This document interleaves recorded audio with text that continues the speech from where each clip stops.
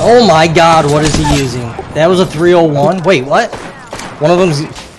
How the fuck is he still alive? I'm gonna get knocked.